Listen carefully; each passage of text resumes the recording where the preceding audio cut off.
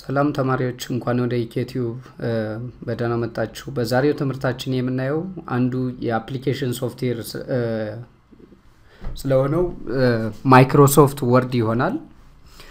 ትምህርቱን ተከታተሉ። Microsoft Word ማለት አንዱ የ application software አይነት ነው፣ ወይም ተጨማሪ ሶፍትዌር የምንለው ነው። ከ operating system ኣችን በተጨማሪ የምናገኘው ማለት ነው። Microsoft Word ን ለመክፈት በተለያዩ መንገዶች ልንከፍት እንችላለን። የመጀመሪያው start ላይ click ማድረግ፣ start ላይ click then all program፣ Microsoft Office። Microsoft Office ውስጥ የምናገኛቸው ብዙ የ application software አይነቶች አሉ። ከዚህ ውስጥ አንደኛው የ application software አይነት Microsoft Word 2010 ነው። ከዚህ በፊት ያሉ የ application software አይነቶች አሉ። ወይም Word 2007 የምንለው Word 2003 አሁን የምናየው እኛ Word 2010 ነው። Microsoft Word ስንከፍት የምናገኛቸው element ኦች አሉ። የ Microsoft Word window element እንለዋለን። ይህን የምናገኘውን በውስጡ የተለያዩ window element ኦች አሉ። የመጀመሪያው Microsoft Word ውስጥ ከላይ የምናገኘው title bar ይባላል።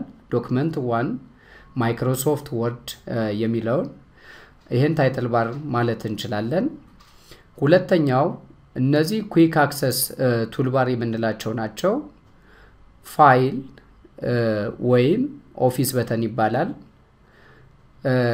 home insert page layout የሚሉት እነዚህ ምን ይባላሉ?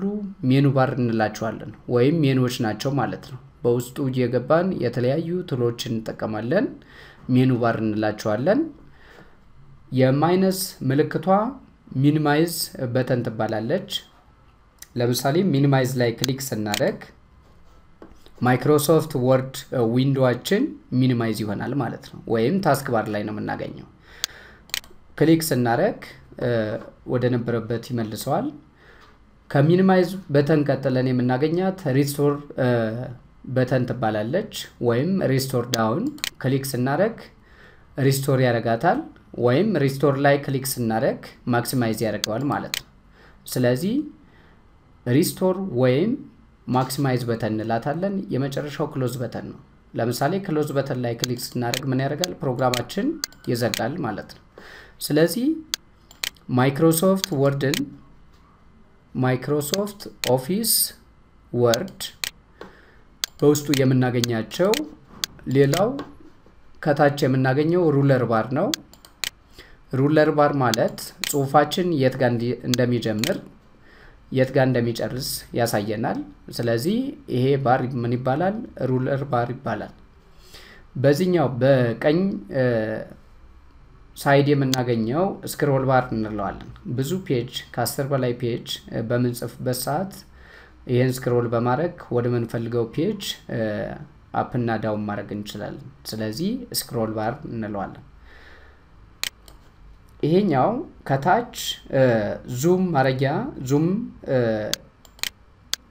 in ና zoom out ማድረግ እንችላለን። ይሄኛውን zoom bar እንለዋለን። status bar እንለዋለን። መረጃችን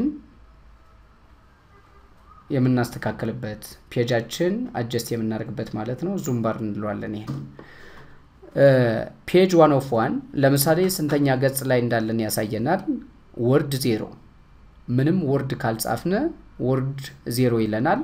ስለዚህ ይሄኛው status bar እንለዋለን። horizontal ባራችን ማለት ነው። አጠቃላይ ከ Microsoft Word በታች የምናገኘው ባራችን status bar እንለዋለን።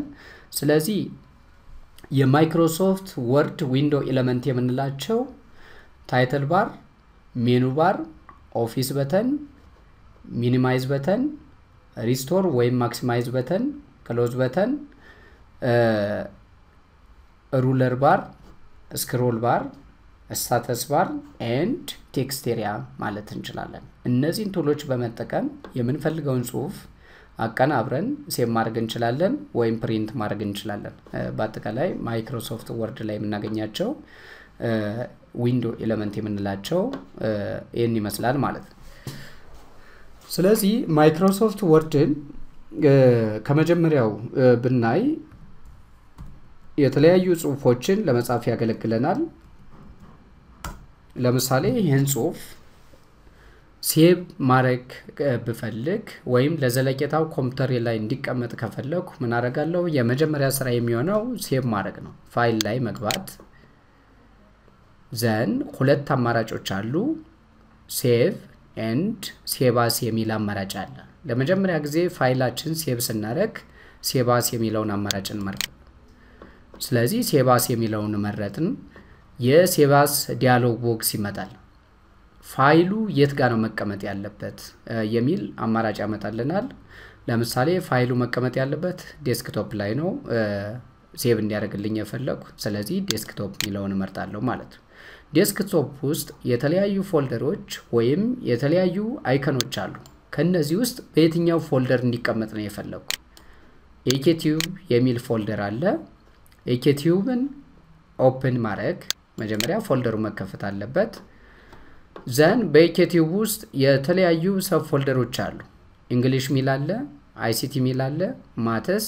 ከዚህ ውስጥ የ ICT practice ስለሆነ ICT ሚለውን folder open አደርጋለሁ ማለት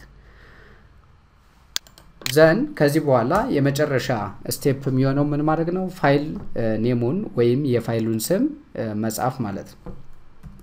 practice ማለት እንችላለን። ለምሳሌ practice የሚል ፋይል ስም ሰጠሁት። መጨረሻ ላይ save ማድረግ ነው። then title ባራችን ምን ሆነ? ከላይ ያለው practice የሚል ስም አመጣልኝ። already ፋይሉ save መሆኑን ወይም መቀመጡን ያሳየኛል ማለት ነው። ስለዚህ ፋይሉ የት ጋ ነው save ያደረግኩት? desktop ላይ። desktop በምን folder? በኤኬቲዩብ ኤኬቲዩብ የሚለውን folder ስንከፍት የተለያዩ sub ፎልደሮች አሉ። በየትኛው sub folder ውስጥ ነው? በ ICT ውስጥ። ICT ውስጥ ምን ብዬ ነው save ያደረግኩት? practice የሚል ማለት ነው። ስለዚህ practice የሚለውን open እናደርጋለን። የጻፍነውን ወይም save ያደረግነውን document ከፍተን ለሌላ ጊዜ መጠቀም እንችላለን ወይም print ማድረግ እንችላለን ማለት ነው። ስለዚህ በዚህ መሰረት practice ማድረግ እንችላለን። start all program Microsoft Office then Microsoft Office Word ማለት ነው። save ያደረግኩትን እንደገና መክፈት ብፈልግ የት ጋ ነው open ማድረግ የምችለው? ፋይል ላይ መግባት፣ ፋይል ላይ click ማድረግ then open open ስል የትኛውን ነው open ማድረግ የፈለግኩት? መጀመሪያ ቦታውን ማስተካከል አለብኝ። የት ጋ ነው save የሆነው? ቅድም የሰራ ነው desktop ላይ። desktop ውስጥ በምን folder? በኤኬቲዩብ folder። ስለዚህ open ማድረግ እንችላለን። ኤኬቲዩብ ውስጥ ICT በሚል folder then ICT ን open ማድረግ ከዛ file name ኡን እናገኘዋለን። practice የሚለውን በመምረጥ open ማለት እንችላለን። ስለዚህ ፋይላችንን መክፈት እንችላለን ማለት ነው። በዚህ መሰረት ፋይላችን close ማድረግ ብንፈልግ መዝጋት ብንፈልግ close ማድረግ እንችላለን፣ ወይም exit ማድረግ እንችላለን፣ ወይም በዚህኛው close ማድረግ እንችላለን ማለት ነው።